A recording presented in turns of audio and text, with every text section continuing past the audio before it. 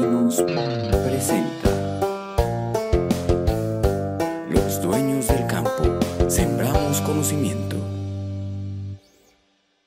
Bienvenidos a los dueños del campo, sembramos conocimiento. Nos encontramos eh, yendo hacia San Pedro de los Milagros, un municipio cercano a la ciudad de Medellín, a 2.500 metros sobre el nivel del mar, que hace parte del eje lechero de Antioquia, en el altiplano del norte cercano. Y vamos a hablar sobre un tema muy importante que tiene muchas connotaciones desde el punto de vista de la cría, de la parte de comercialización de los ganados de leche. Vamos a hablar de la clasificación lineal en bovinos especializados en producción de leche, en vacas Holstein. Allá tendremos un invitado muy especial. Acompáñenme. Los dueños del campo, sembramos conocimiento. Está? Buenos días, ¿cómo estás? Bien, señor, muchas gracias.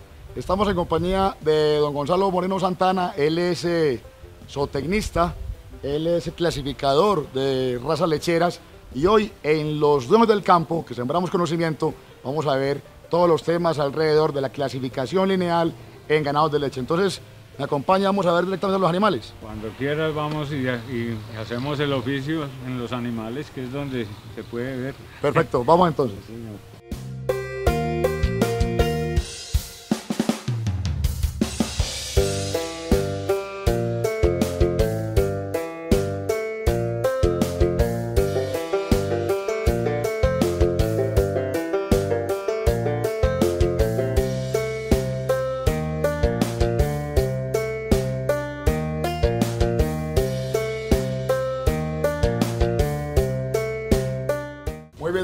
Entonces estamos aquí ya con esta extraordinaria vaca, la vaca Clavel. ¿Sabe usted algo de ella? Sé que fue gran campeona en el 2011 y fue la gran campeona reservada en la exposición de San Pedro del 2014. Y 10 mil litros en la cuarta lactancia, ¿no? Sí, señor. O sea, una vaca importante de la raza eh, Holstein. Es, es lo importante y lo que buscamos, que sean vacas altamente productivas y longevas para que duren mucho tiempo en el hato, para que les funcionen al criador durante mucho tiempo y les dejen una rentabilidad aceptable. Correcto, eso es, una, eso es importantísimo, pero yo creo que debemos eh, arrancar eh, como definiendo, hombre, qué es la clasificación lineal o la evaluación lineal, si es lo mismo o si hay algún tipo de diferencia. Hablemos un poquitico del tema, don Gonzalo. Eh, entre clasificación y evaluación solo hay dos diferencias. La una, que la clasificación como tal adquiere el animal un porcentaje o un puntaje final de acuerdo al descriptivo que hagamos de cada una de sus partes. En la eh, eh, evaluación solo se dice si es buena o mala en cada una de sus partes, pero no tiene ningún eh, puntaje final. O sea que podríamos, siendo muy genéricos, establecer que la evaluación o clasificación es un conjunto de puntos que se le dan algunas características fenotípicas al ejemplar tipo leche. Exacto, es, es la interpretación de cada forma del animal en un número, que en nuestro caso va del 1 al 50, donde en la mayoría de partes del animal el 50 es el ideal y el 1 es malo o deficiente Sí. o pobre. En, hay algunas características como el largo de los pezones donde el ideal es 25, porque si es 50 son muy largos los pezones y si es 1 son muy corticos. Y ninguna de las dos cosas son funcionales para un equipo de ordeño. Todo lo que describimos aquí y todas las partes que se describen son para funcionabilidad de las vacas.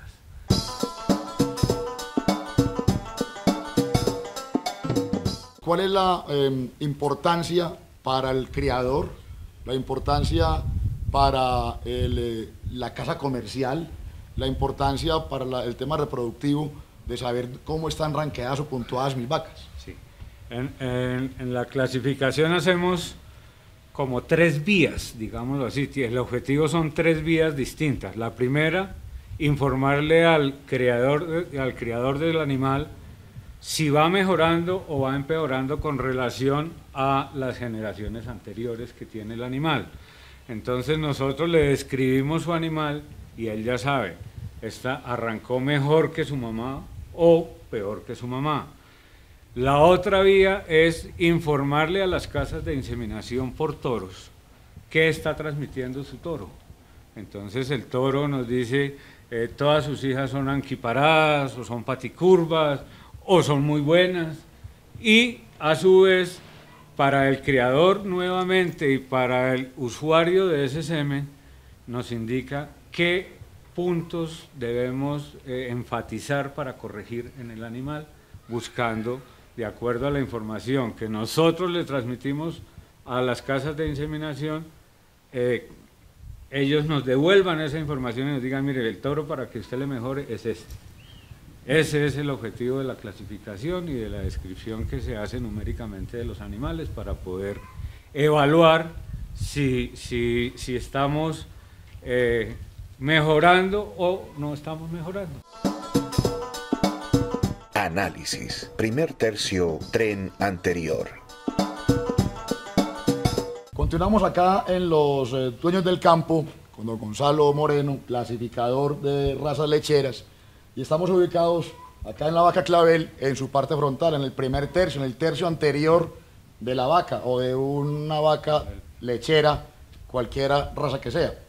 Bueno, señor, arranquemos. ¿Qué puntaje tiene y qué miramos en ella?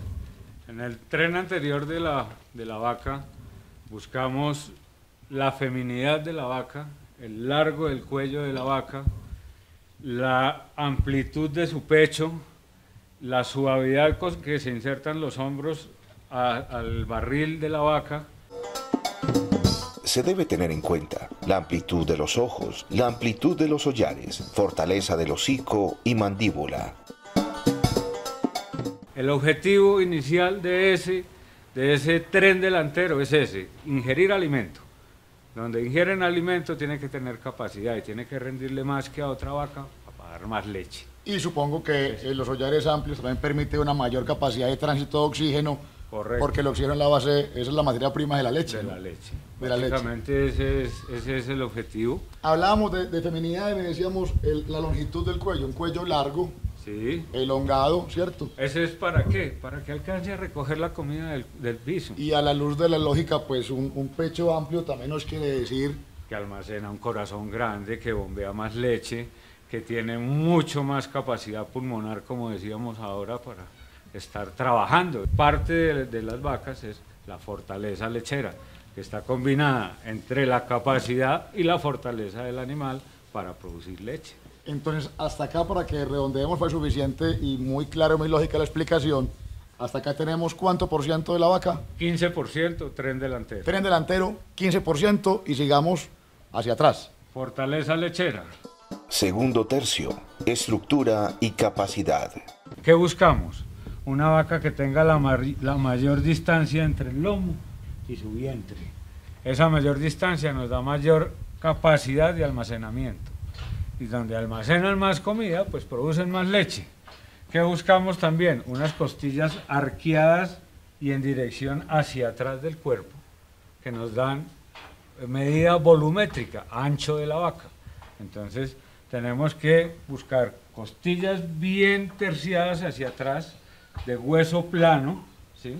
y bien separadas. Inicialmente medíamos las vacas aquí, ahora las medimos aquí, que es la parte más bajita de las vacas. Y buscamos siempre que vayan hacia arriba, que ese- esto sea más alto que la parte posterior de la vaca. El tren delantero más alto que el tren posterior. ¿Por qué? Para que evacúen los líquidos, para que puedan evacuar, eh, evacuar sus mismas heces. Todo es funcionabilidad. Acá tenemos entonces 20 puntos y atrás dejamos 15%. y vamos en 35. Tren posterior. Bueno, don Gonzalo, estamos ubicados en la parte posterior de la vaca clavel. Hablemos la misma dinámica, el puntaje y los puntos a observar dentro de este tren posterior. 5% más que es el ANCA, ¿sí? donde la mayor importancia la tiene la articulación coxofemoral, que es esta. Debe estar colocada entre el 60% y 40% del largo del ANCA, correcto. Así tal cual. Correcto. Entonces, no, ojalá fuera 50 y 50, pero no conozco todavía las vacas 50 y 50, están 60, 40. Ese es el, el mayor valor que se le da al anca. El segundo valor en el anca es el largo y la nivelación. Entonces, que sea larga y que el hueso de la cadera esté más alto que los pines o los huesos posteriores de la cadera. Entonces, si tú ves, esta es una anca muy nivelada que se le daría, como, como te dije, que hay unos puntajes que son intermedios. Este es uno de los puntajes que es intermedio, donde 25 es el ideal, 50 es muy malo o 1 es muy malo. ¿sí? Entonces, a esta vaca le daríamos un 20, digámoslo así, porque es casi nivelada. Si fuera eh, una pulgada y cuarto más arriba este hueso que este, sería el ideal que sería 25. En cada equinos le ofrecemos las técnicas laborales en administración equina, ganadera, pecuaria, agrícola y auxiliar veterinario. Continuamos con la segunda parte de nuestra charla con el señor Gonzalo Moreno Santana.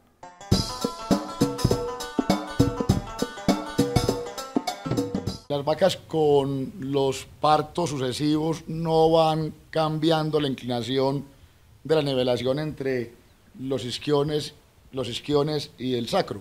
Si buscamos, como habíamos hablado, fortaleza. Si el lomo es fuerte, la vaca no tiene por qué cambiar el anca. Cambia un poco con el eh, estado de sus pezuñas. Si las pezuñas son muy limadas de atrás, tienden a levantar el hueso de la cadera. Si son muy bajitas, de talón. Y la otra parte que buscamos en el anca es la amplitud de los pines. ¿Por qué? Porque tiene que salir un ternero. Es sencillo. es el área más importante para el parto. Ahí nos fijamos en que la vulva sea lo más perpendicular posible. Si la vulva tiende a meterse, cuando el animal desfeca, entra mugre en la vulva y entonces ahí viene la vaca con retenciones, con mugres que no preña porque tiene ciertas dificultades. Entonces es observativo, mas no tiene eh, un descriptivo como tal ni en los catálogos de los toros ni en la evaluación que se le hace al animal, sino simplemente es de observación, castiga en el puntaje del anca dos puntos menos, si es, si es metida, pues si es no horizontal.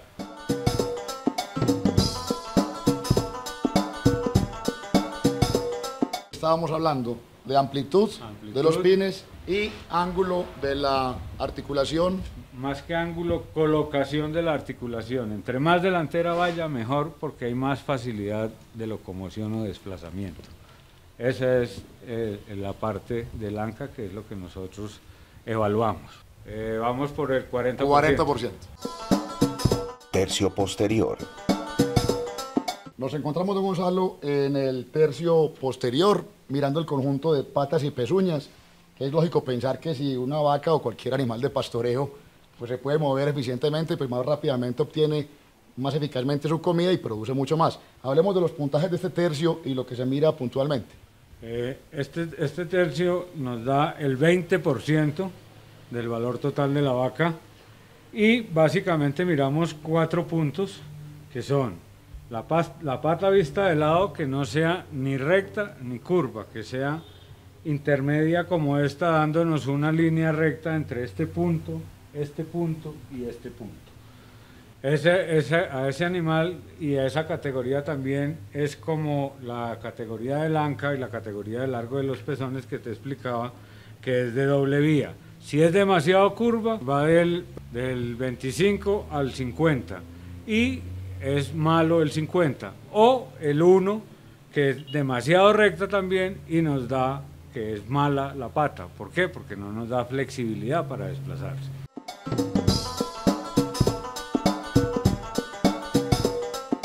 La vemos por detrás.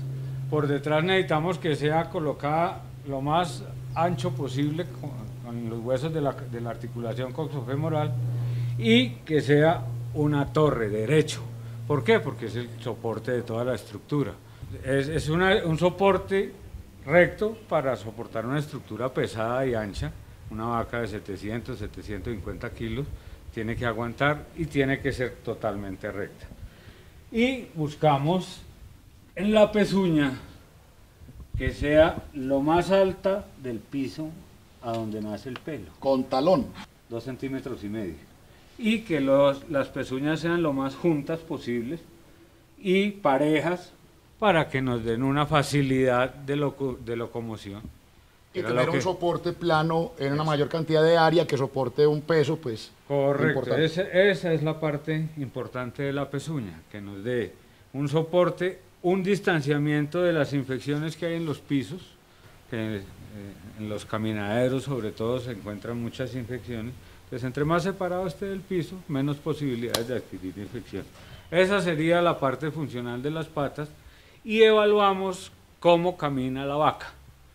Entonces ahí sí le pedimos el favor al muchacho que la desplace hacia allá y tratamos de que la vaca ponga la pata donde levantó la mano. ¿Sí? Entonces en esa misma dirección, mira. Y entre más largo sea el paso, es más facilidad de desplazamiento. Hasta aquí llevamos entonces el 60%, y vamos a la ubre, que es el 40% restante, y la cisterna, la parte importante de la vaca de leche. Pues en la vaca de leche eso es lo que buscamos, capacidad de almacenamiento y facilidad para el ordeño, no más. Sistema mamario. Nos queda el 40% restante, que es el sistema mamario, que es la parte fundamental de toda vaca de leche. En esta en este sistema mamario evaluamos en la parte posterior y la parte anterior de la ubre. En la parte posterior miramos la altura, que es la distancia entre la vulva y el tejido glandular. Entonces, lo normal, el intermedio, son 7 pulgadas, 14, 17 centímetros, 18 centímetros, nosotros lo medimos en pulgadas. Es la distancia promedio de la raza. De ahí para arriba, entre más alta sea, el puntaje va subiendo de 20 a cada 5 puntos hasta llegar a una ubre con 5 o 6 centímetros de distancia en, en la vulva. Amplitud de la ubre posterior. Nos fijamos en la distancia que hay entre este punto o la pierna, el entrepierne y el otro entrepierne. Si son 25 centímetros es el ideal de la raza. De ahí para arriba, 50, 52 eh, puntos. Y de ahí para abajo, pues se van costando, entonces tiende a ser el defecto del sistema mamario. Importante, alta y ancha. Eso es. Aquí nos tenemos que fijar en que la ubre tenga un soporte que lo vemos aquí está marcado, que es el que agarra la ubre y la sostiene contra la cadera de la vaca. Ese soporte tiene que ser fuerte. Y si ustedes miran aquí, hay una distancia entre el piso de la ubre y mire, me caben dos dedos, tres dedos, dos centímetros y medio. Es un ligamento central muy bien marcado que nos muestra por qué esta vaca fue capaz de dar 10 mil kilos de leche y la ubre todavía la conserva pegada al cuerpo, porque tiene un soporte, un ligamento bastante marcado. Y evaluamos qué tan en el centro salen los pezones. Para mí el ideal de este pezón debería ser ahí. Está un poquito cerrado. Al estar cerrado, si tú metes la máquina, la máquina se quiebra. Quiebra el pezón, entonces hay retención de leche y puede ser causal de una mastitis. Por eso buscamos que el pezón nazca en el centro del cuarto. Sistema mamario, parte anterior de la ubre. Vamos a continuar con el sistema mamario en la parte anterior de la ubre y piso de la ubre que hoy es el punto más importante del sistema mamario. ¿Cuál es el piso de la ubre? Donde nacen los pezones y la distancia que hay entre el corvejón y el piso de la. Esa distancia para una vaca de cuatro partos como es ella o, quinto parto ya es muy importante que se sostenga por encima del corvejón porque es una ubre que nunca se va a golpear con los pies y entonces va a tener menos posibilidades de adquirir mastitis por golpeteo o por eh, balanceamiento de la ubre. La otra parte que es más importante y por eso dejé la ubre anterior para el final es la inserción de la ubre con respecto al cuerpo. Entonces tiene que ser suave, como se ve aquí. Es una ubre que se inserta suave, no tiene hendiduras. Hay unas ubres que son así, partidas. Esta ubre se agarra bien, tiene un ligamento fuerte, no se ve eh, cortadura eh, o, delimitamiento de, la, glándula mamaria con relación al cuerpo. Es ideal que se agarren y se inserten de esta manera.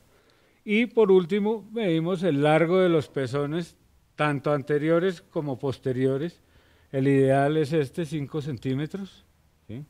Si es muy grande o muy largo, se castiga. Si es muy pequeño o muy corto, también se castiga.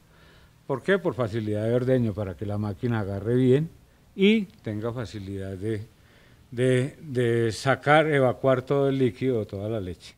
Ese es el sistema mamario, parte fundamental de la vaca, que tenga irrigación, que tenga buena textura.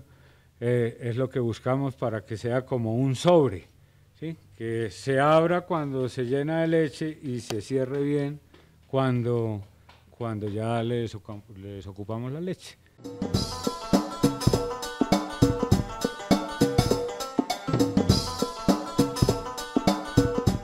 Muy bien, don Gonzalo, ya digamos que recorrimos a lo largo y ancho de la vaca clavel, una vaca de un alto puntaje, como lo pudimos observar según las explicaciones. La pregunta que se me ocurre es, bueno, ¿qué pasa con las otras razas especializadas en producción de leche? Jersey, Pardo Suizo, Ayrshire, Guernsey, etcétera. ¿Hay variación o básicamente es el mismo esquema de calificación? Sí, José, eh, es básicamente el mismo esquema. Lo que pasa es que el puntaje ideal en ciertas características como estatura, como amplitud de la ubre, como eh, amplitud en los huesos de la cadera, esos son parámetros diferentes en cada una de las razas porque son de tamaños diferentes. Pero básicamente es eso. El ideal en la raza Holstein son 58 pulgadas para la estatura. En la, en la, en la Jersey son 51 pulgadas. Entonces, eh, cada, cada, programa o, o, el programa se ajusta de acuerdo a la raza por el tamaño en ciertas características, no es más. Mi nombre es Gonzalo Moreno Santana, soy zootecnista de la Universidad de La Salle, me especialicé en evaluación de ganado lechero y yo también soy dueño del campo.